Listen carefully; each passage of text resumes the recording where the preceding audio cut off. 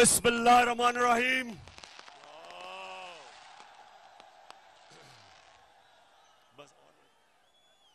یا کنا بدو و یا کنستین اللہ اللہ تیری عبادت کرتے ہیں۔ اللہ تیرے سے مدد مانگتے ہیں۔ کسی انسان کے سامنے ہم اپنا سر نہیں جھکاتے اور کسی سپر پاور کے سامنے ہم نہیں جھکتے۔ ہم محمد صلی اللہ علیہ وسلم کے امت، ہم اس کے امت سے ہیں۔ ہم دنیا کی سب سے عظیم لیڈر ہم اس کی امت سے ہیں۔ ہم کسی کے سامنے نہیں جھکتے اور سیالکوٹ سیال کوٹ میں سب سے پہلے تو یہ جو آج حرکت کی نواز شریف کی نون لیگ نے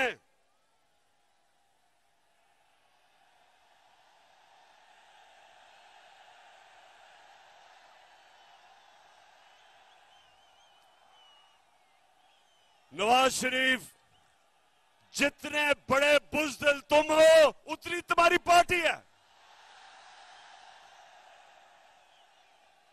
ہم نے ایک دفعہ سیال کوٹ ہم نے ایک دفعہ نہیں کوشش کی، ان کے جلسے روکنے کی یا ان کی لانگ مارچ روکنے کی۔ ہر تین مہینے ہر تین مہینے کے بعد یہ گورنمنٹ گرانے آتے تھے۔ اور تمہارے ساتھ ایک تو اس ملک کی بڑی بیماری زرداری بھی تھا۔ اور اس کے علاوہ جو ڈیزل کے پرمٹ بیچنے والا وہ بھی تھا۔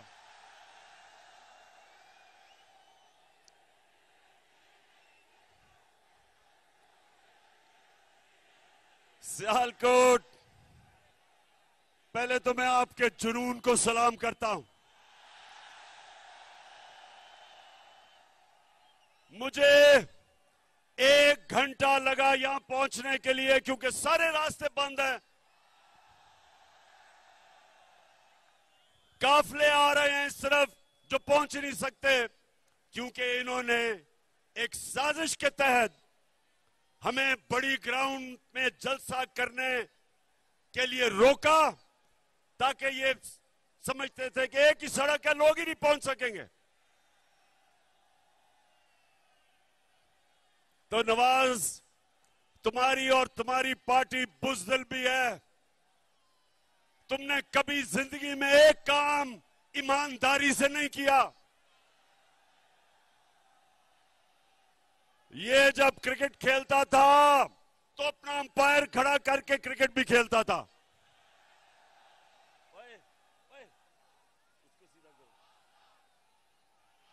یہ وہ آدمی ہے۔ نہ اس نے بزنس ایمانداری سے کی، نہ یہ الیکشن ایمانداری سے لڑتا ہے۔ نہ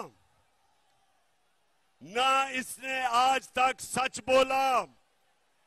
مشرف کے دور میں دم دما کے باغا باہر، جھوٹ بول کے کہ کوئی معاہدہ نہیں کیا۔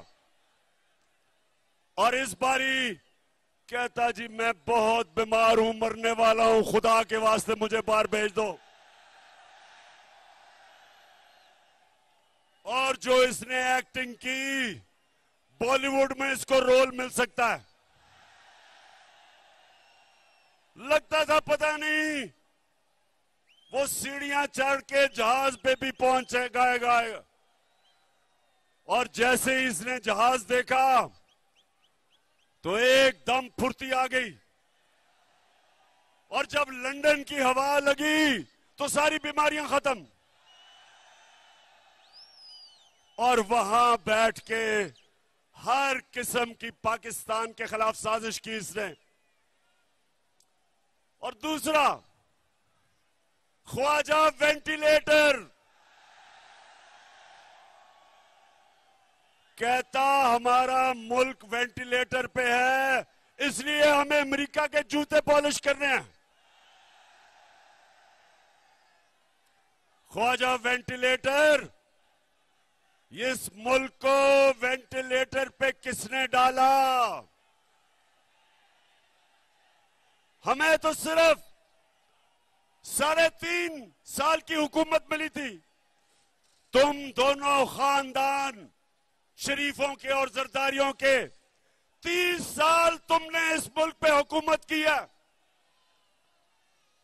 وینٹیلیٹر پہ تو تم نے ملک کو لوٹ لوٹ کے پیسہ باہر لے جا کے آج ہمارے ملک کو مکروز کیا۔ اور پھر تمہارا جو تمہارا جو cherry blossom boot polish Shahbaz Sharif, وہ کہتا ہے کہ بیگرز آر ناٹ چوزرز مطلب کہ کیونکہ ہم بیکاری ہیں، ہمیں غلامی کرنی پڑے گی امریکہ کی۔ سیال کوٹ کے لوگوں مجھے یہ بتاؤ کہ کیا آپ کو امریکہ کی غلامی قبول ہے؟ آپ سب کو اور میرے پاکستانیوں کو اس لیے نہ امریکہ نہ کسی کی غلامی قبول، اس لیے نہیں، کیونکہ ہم محمد صلی اللہ علیہ وسلم کے امتی ہیں۔ ہم اللہ کے سوا، ہمارا تو ہمارا تو دعویٰ ہے کہ لا الہ الا اللہ اللہ تیرے سوا کسی کے سامنے نہیں ہم چکتے اور جب مسلمان نوجوانوں کسی کے سامنے جھکتا ہے، تو وہ سب سے بڑا شرک سمجھا جاتا ہے اسلام میں۔ ہمیں لا الہ الا اللہ غیرت دیتا ہے۔ ہمیں غیرت مند قوم ہے۔ ہم ان چوروں ڈاکوں کی طرح کسی کی غلامی قبول نہیں کرتے۔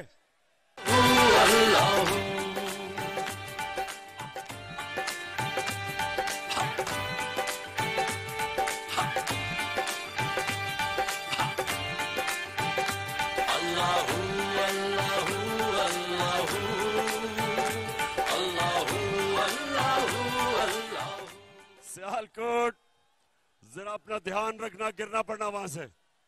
اچھا سیال کوٹ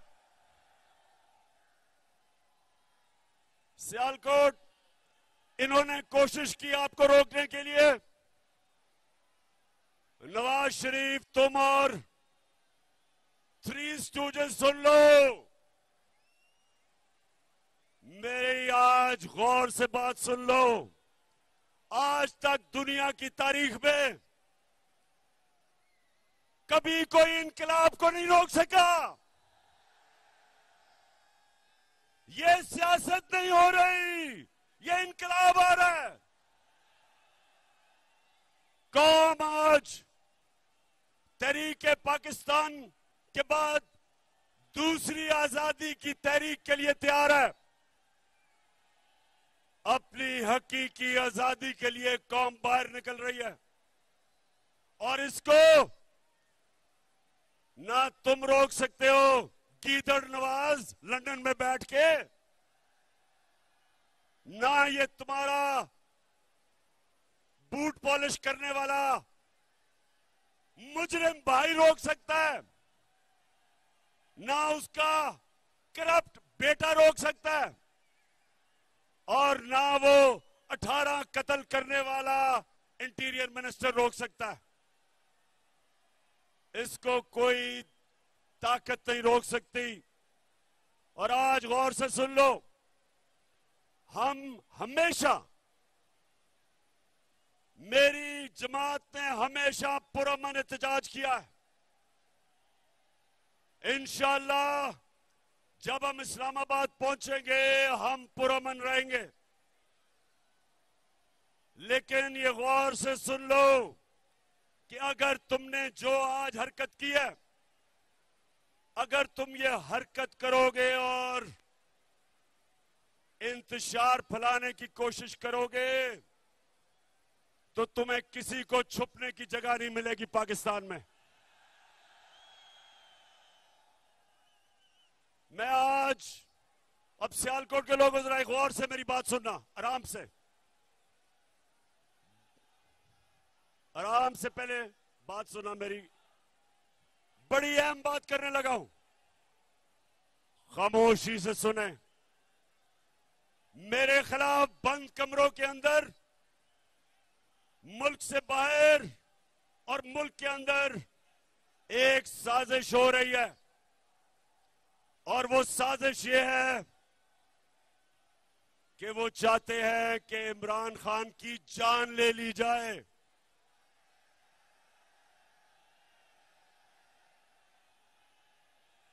سن لے ذرا۔ یہ سازش کا مجھے پہلے پتا تھا اور مجھے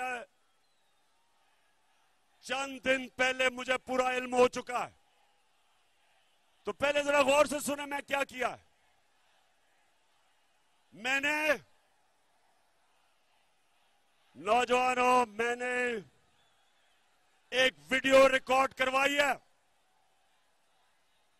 میں نے یہ ویڈیو ریکارڈ کروا کے ایک محفوظ جگہ پہ رکھ دی ہے کہ اگر مجھے کچھ ہوگا، یہ ویڈیو ساری قوم کے سامنے آئے گی۔ اور اس ویڈیو میں میں نے پچھلی گرمیوں سے جو یہ میرے خلاف سازش ہوئی، جو جو اس سازش میں ملوث ہے میں نے ایک ایک کا نام لیا اس ویڈیو میں۔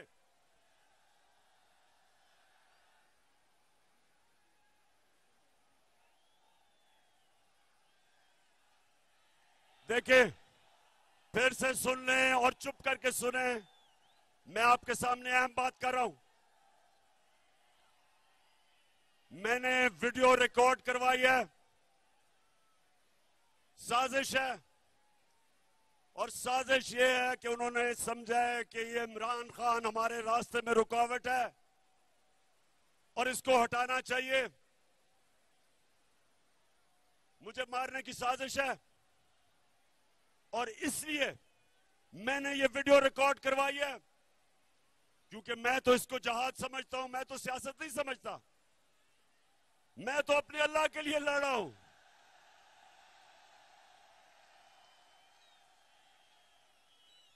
لیکن میں یہ چاہتا ہوں کہ اگر مجھے کچھ ہوگا تو میں اپنے سارے پاکستانیوں کو چاہتا ہوں کہ آپ کو پتا چلے کہ کون کون اس سازش میں ملوث تھا۔ باہر بیٹھ کے کون اس سازش کا کردار تھا اور میرے ملک میں بیٹھ کے کس کس نے سازش کی ان میں سب کے میں نے نام لیے بس بس۔ ان میں ساروں کے میں نے نام لیے جنہوں نے یہ پلاننگ کی۔ اور ایک ایک کا نام میں نے کہا کہ یہ میرے دل پہ لکھا ہوا ہے کہ انہوں نے کیسے پوری پلاننگ کر کے ایک بیرونی ملک سازش جس میں یہ سارا اس ملک کا کرپٹ ٹولہ اس کے ساتھ مل کے اور کون کون مزید لوگ ان کے ساتھ تھے انہوں نے جو میری گورنمنٹ کرائی ہے اور جو آگے یہ کرنے جا رہے ہیں؟ میں یہ اس لیے میرے پاکستانیوں، میں نے یہ اس لیے ویڈیو ریکارڈ کروائی ہے کہ اس ملک کی تاریخ ہے کہ کبھی طاقتور کو قانون کے نیچے نہیں لایا جاتا، کبھی طاقتور کا احتساب نہیں ہوتا ہمیشہ طاقتور بچ جاتا ہے اور کسی اور کے نام پہ جو بھی قتل ہوتا لگتا ہے۔ میں اس لیے یہ ویڈیو ریکارڈ کروا رہا ہوں، کروا کے رکھی ہوئی ہے، محفوظ رکھی ہوئی ہے۔ میں نے صرف اس لیے رکھی ہے کہ میں یہ چاہتا ہوں کہ اس باری اس ملک کا انصاف کا نظام، اس ملک کی تاریخ ہے۔ کبھی انہوں نے نہیں کسی کو پکڑا جو طاقتور مجرم ہو۔ صرف کمزوروں کو پکڑا جاتا ہے۔ اس لیے یہ لیاقت علی خان کے زمانے سے لے کے اب تک کوئی طاقتور مجرم نہیں پکڑا گیا۔ اس لیے میں چاہتا ہوں کہ میری قوم کے سامنے سب سب کی شکلیں آئیں کہ کون کون اس ملک سے غداری کر رہا تھا۔ کس کس نے غداری کی؟ اور میں دوسری بات کرتا ہوں۔ اور میں پھر اپنے انصاف کے نظام کو آپ کے سامنے رکھتا ہوں کہ میں نے ساڑھے تین سال میں پوری کوشش کی کہ جو تیس سال سے ملک کو لوٹ رہے تھے، ان کو سزائیں ہوں، ان کے خلاف ایکشن لیا جائے۔ لیکن جو جو اس ملک کے طاقتور عہدوں پہ بیٹھے تھے جنہوں نے انصاف کرنا تھا وہ کرپشن کو برا نہیں سمجھتے تھے، وہ طاقتور کی کرپشن کو وہ برا نہیں سمجھتے۔ وہ ایکسپٹ کر بیٹھے ہیں کہ اس ملک میں طاقتور لوگ چوری کریں گے اور کوئی پکڑے گا نہیں۔ سیال کوٹ کے لوگوں، میرے نبی صلی اللہ علیہ وسلم نے آج سے پندرہ سو سال پہلے تقریباً تب یہ کہا تھا کہ وہ قومیں تباہ ہو جاتی ہیں۔ جدھر چھوٹا چور جیل میں جاتا ہے اور بڑے ڈاکو کو آپ نہیں پکڑتے۔ یہ ہے ہمارا تباہی کا راستہ۔ میں نے جو آپ کو اسلام آباد میں بلایا ایک وجہ سے کہ اگر آپ نہیں نکلیں گے، اگر یہ ڈاکوؤں کے خلاف جنہوں نے سازش کے تحت آج ملک کے اوپر بیٹھے ہوئے ہیں اگر آپ ان کے خلاف اب نہیں نکلیں گے، میرے پاکستانیوں، یہ ملک تباہ ہو جائے گا۔ کیونکہ میرے نبی نے کہہ دیا تھا کہ جب آپ طاقتور مجرموں کو ڈاکوں کو نہیں پکڑتے اور صرف چھوٹے چوروں کو پکڑتے ہیں، وہ ملک بچتا نہیں ہے۔ حضرت علی رضی اللہ تعالیٰ نے ان کے ایسے ممالک کے جو طاقتور ڈاکوں کو نہیں پکڑ سکتے، ان کے متعلق کہا کہ کفر کا نظام چل جائے گا، لیکن ظلم اور ناانصافی کا نظام نہیں چل سکتا۔ ہمارے سامنے تباہی ہے۔ اگر ہم سب ایک قوم بن کے نہیں نکلے اور اگر ہم نے ان کے خلاف جہاد نہ کی میرے پاکستانیوں، آپ کے اور آپ کے بچوں کا کوئی مستقبل نہیں ہے۔ جو دنیا میں، جو دنیا میں امیر ترین ملک ہیں، ادھر سب سے بڑی چیز کیا ہے؟ کہ طاقتور قانون کے نیچے جس کو رول آف لا کہتے ہیں، قانون کی حکمرانی جس کو کہتے ہیں۔ جو نبی صلی اللہ علیہ وسلم نے مدینہ کی ریاست میں سب سے پہلے انہوں نے کہا کہ میری بیٹے بیٹی بھی جرم کرے گی تو اس کو سزا ملے گی۔ جب تک ایک معاشرہ خوشحال نہیں ہو سکتا، جب تک آپ طاقتور ڈاکو کو نہیں پکڑتے۔ یہ ہے ہماری جہاد۔ اور سیال کوٹ کے لوگوں، آپ نے جب میں بیس کے بعد کال دوں گا، آپ نے سب اسلام آباد پہنچنا ہے۔ ایک دوجے کا تھامو ہاتھ چلو چلو عمران کے ساتھ۔ ایک دوجے کا تھامو ہاتھ چلو چلو عمران کے ساتھ۔ صاف چلی شفاف چلی۔ تحریک انصاف چلی۔ آپ نے نہ فکر کرنی ہے کہ گرمی ہے۔ جب پاکستان آزاد ہوا تھا تو یہاں سیال کوٹ اپنے ذرا بڑوں سے پوچھو۔ کہ کیا مہاجر جو باہر سے ہندوستان سے آئے تھے، ان کی کبھی کہانیاں سنی ہیں؟ بڑوں سے سنیں میں جب لاہور میں بڑا ہو رہا تھا، جو بھی وہاں سے آئے تھے، پنجاب سے، ایسٹ پنجاب سے، جو قتل عام ہوئی تھی مسلمانوں کی، عورتوں کی، بچوں کی، لاکھوں لوگ قربان ہوئے تھے اس ملک بنانے کے لیے۔ اور آج میں اپنی قوم سے وہی قربانی مانگ رہا ہوں، اپنے آپ کو حقیقی آزادی دینے کے لیے ان چوروں سے، ان امریکلوں کے غلاموں سے۔ آپ نے نہ گرمی دیکھنی ہے، نہ آپ نے دیکھنا ہے کہ راستے میں رکاوٹیں ہیں، نہ کنٹینر دیکھنا ہے۔ نوجوانوں، آپ کا جنون ان سارے کنٹینرز اور جو بھی رکاوٹیں اس کو بہا کے لے جائے گا۔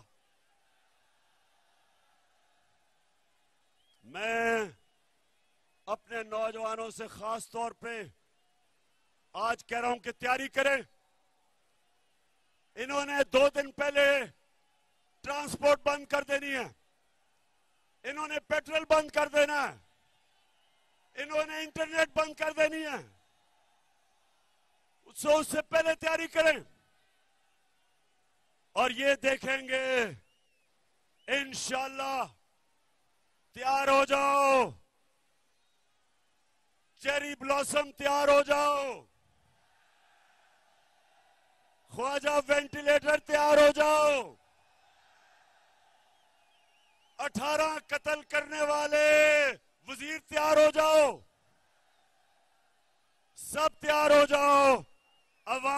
سمندر آنے والا ہے اسلام آباد۔ اب عمران ہی کرے گا سب کپتان۔ نیا بنے گا پاکستان نیا بنے گا پاکستان نیا بنے گا پاکستان۔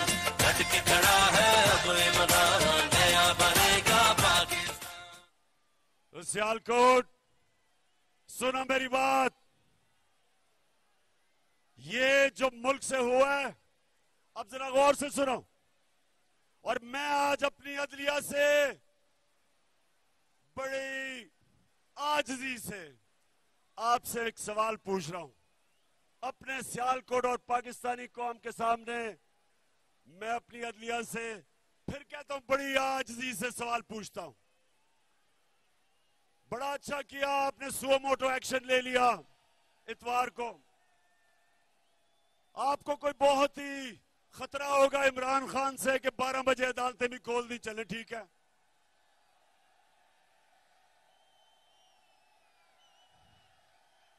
بہت خطرناک ہوں میں، بہت ہی بڑا میں کوئی ملک سے غداری کرنے جا رہا تھا کہ رات کے بارہ بجے عدالتیں کھول دی۔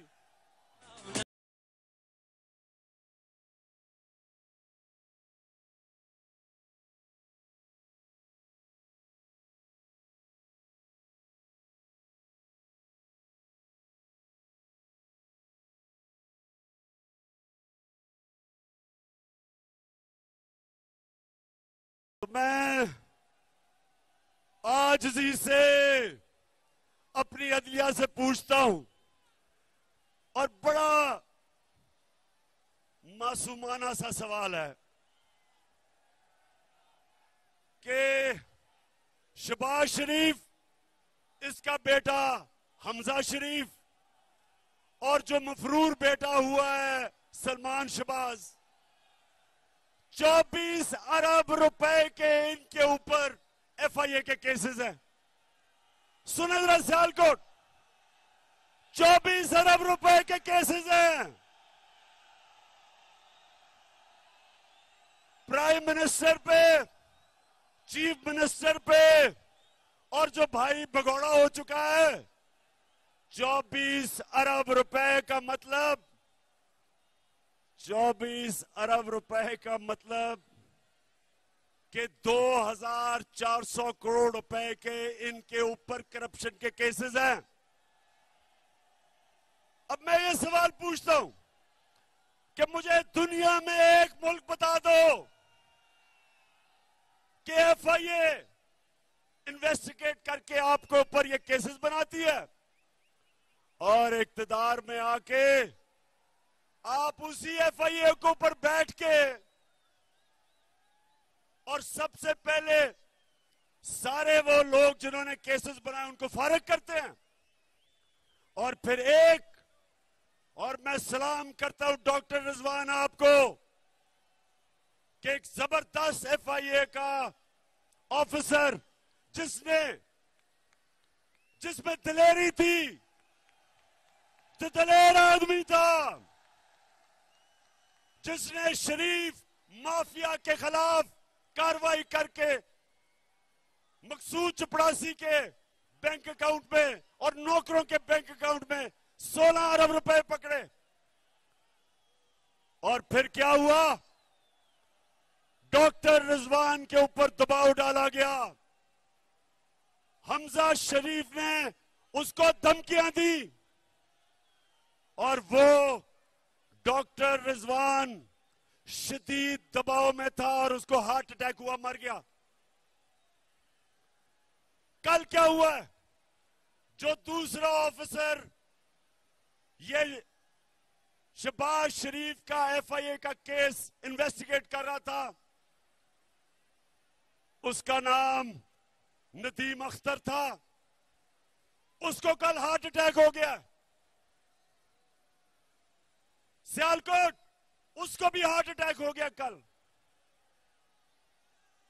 میں یہ سوال پوچھتا ہوں کہ یہ کیسے ہے کہ مافیا کا جو انویسٹیگیٹ کرتا ہے، ان کے اوپر کس طرح کا دباؤ ہے؟ کدھر ہے میری عدالتیں؟ آپ کا کام ہے ان کی حفاظت کرنا۔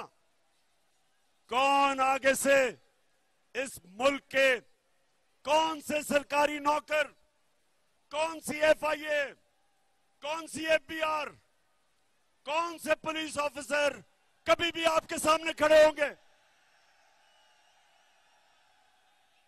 اس ملک کے ادارے کیسے طاقتور مجرموں کے سامنے کھڑے ہوں گے؟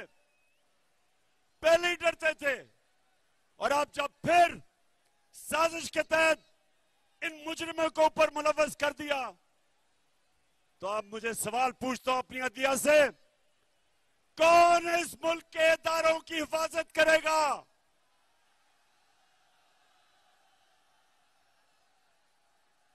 میں بڑی آجی سے اپنی عدالتوں سے پوچھتا ہوں کہ یہ آپ کے سامنے، آپ کے سامنے ہماری ملک کی تباہی ہو رہی ہے۔ جب ادارے ختم ہوتے ہیں، ملک تباہ ہو جاتا ہے۔ اور میں پھر یہ اگلا سوال پوچھتا ہوں کہ یہ جو ہمارے جیلوں میں، ہمارے جیلوں میں چھوٹے چور بھرے ہوئے ہیں، ان کا کیا یہ قصور ہے کہ وہ چھوٹے چور ہیں؟ کیا سبق یہ مل رہا ہے کہ ملک پہ ڈاکہ مارو تو بڑا ڈاکہ مارو، نہیں تو جیل میں چلے جاؤ گے؟ میں آج اگر آپ نے ان کو نہیں پکڑنا، تو میں آج پھر سے کہتا ہوں کہ پاکستان کے جیل کھول دیں، یہ غریبوں کو باہر نکالیں، جو بے روزگاری میں چوری کرتے ہیں، گھر میں بچے بھوکے ہیں، ان کو باہر نکال دیں۔ ان ساروں کی، ان غریب چوروں کی ملا کے بھی جو چوری ہے وہ ایک مقصود چپڑاسی کے جو چار ارب آئے تھے بینک میں، اس سے کم ہے۔ یہ ظلم کا نظام ہے۔ اس کے متعلق حضرت علی نے کہا تھا، پھر سے میں بتاتا ہوں کہ کفر کا نظام چل جائے گا، لیکن نا انصافی اور ظلم کا نظام نہیں چل سکتا۔ میں آخر میں صرف دو باتیں کرنا چاہتا ہوں۔ ہم ہم جب اپنا، ہم نے جب پاکستان میں، سنو نوجوانوں، آخری دو باتیں۔ جو ہمیں ملک ملا تھا دو ہزار اٹھارہ میں، اور جو ہمیں جب سازش کر کے نکالا گیا، تو یاد رکھیں ایک وہ ملک جس کا دیوالیہ ہوا تھا اس ملک کے اندر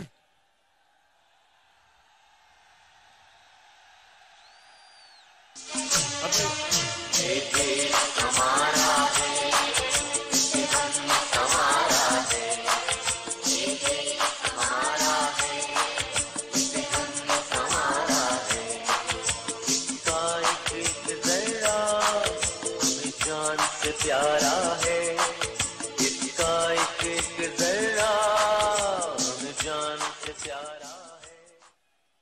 کو پاکستان کا جھنڈا پکڑا دو۔ پاکستان کا۔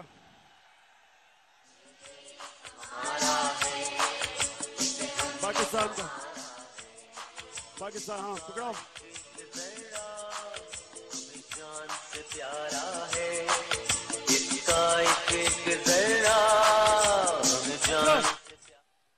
اچھا سیال کوٹ اب سنیں۔ جب ہماری حکومت گرائی گئی، تو اب جو اب اداد و شمار آئے ہیں، یاد رکھیں کہ پاکستان کی دو ہزار چار کے بعد سب سے زیادہ صنعتی پیداوار ہمارے دور میں ہوئی۔ شاباش شاباش، یہ ہے جنون۔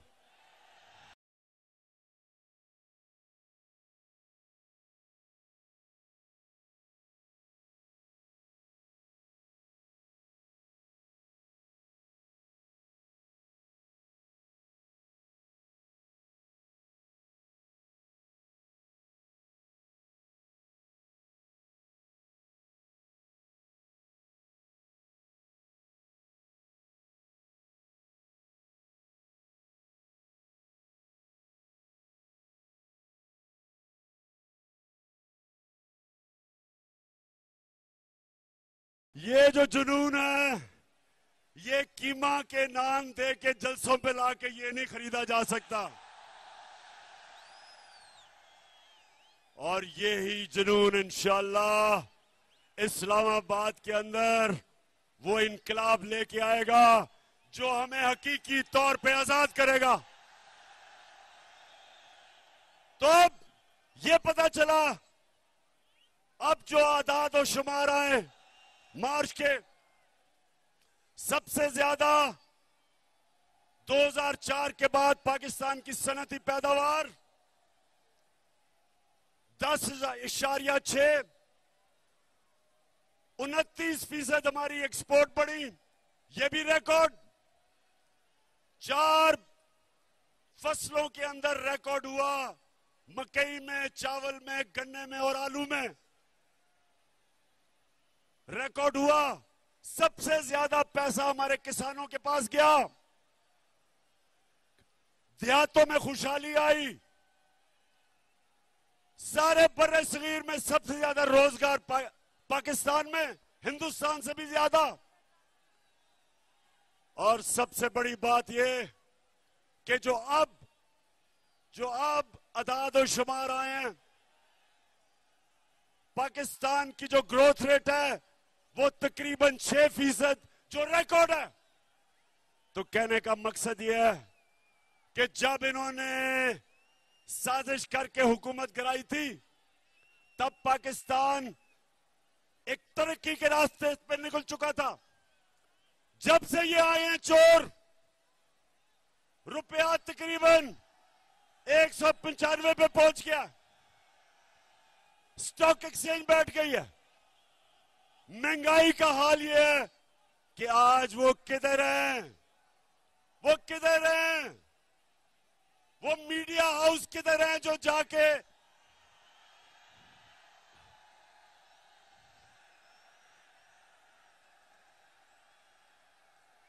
عباس، جو بھی ہو گرنا پڑنا خدا کا واسطہ ہے۔ بس بس۔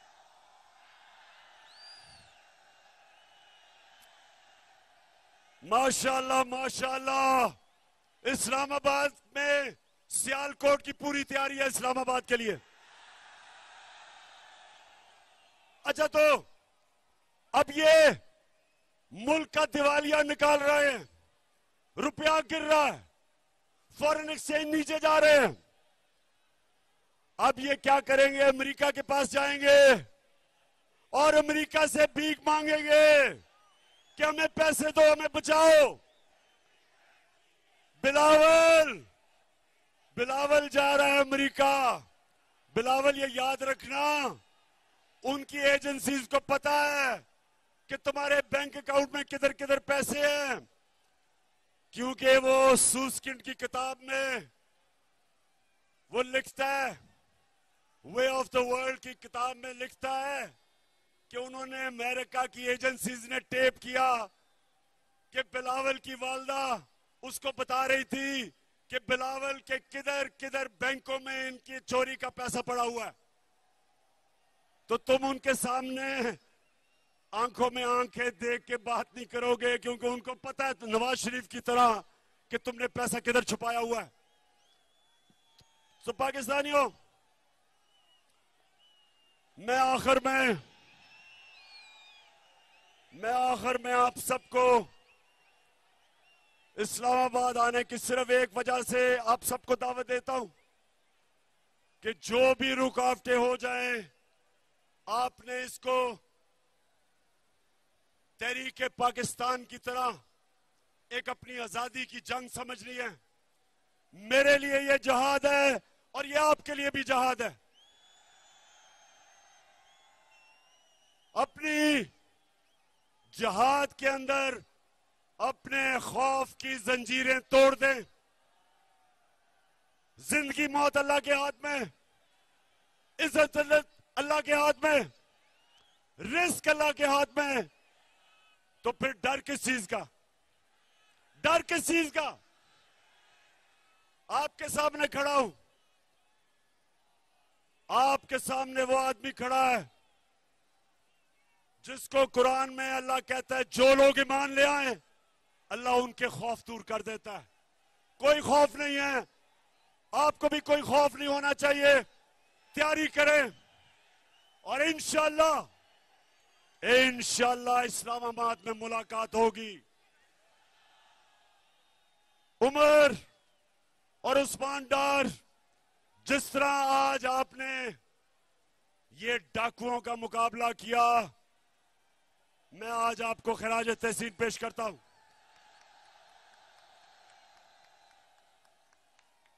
تمہاری ماشاءاللہ اچھی ٹریننگ کی ہوئی ہوئی ہے۔ دھرنے میں میں نے آپ کی ٹریننگ کروائی ہے۔ ہم ٹرینڈ ہیں۔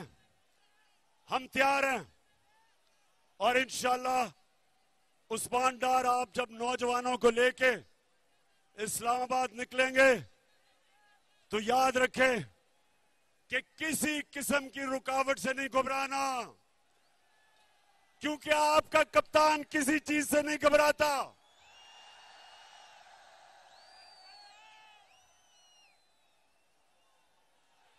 پاکستان زندہ باد، پاکستان پائدہ باد اللہ اللہ۔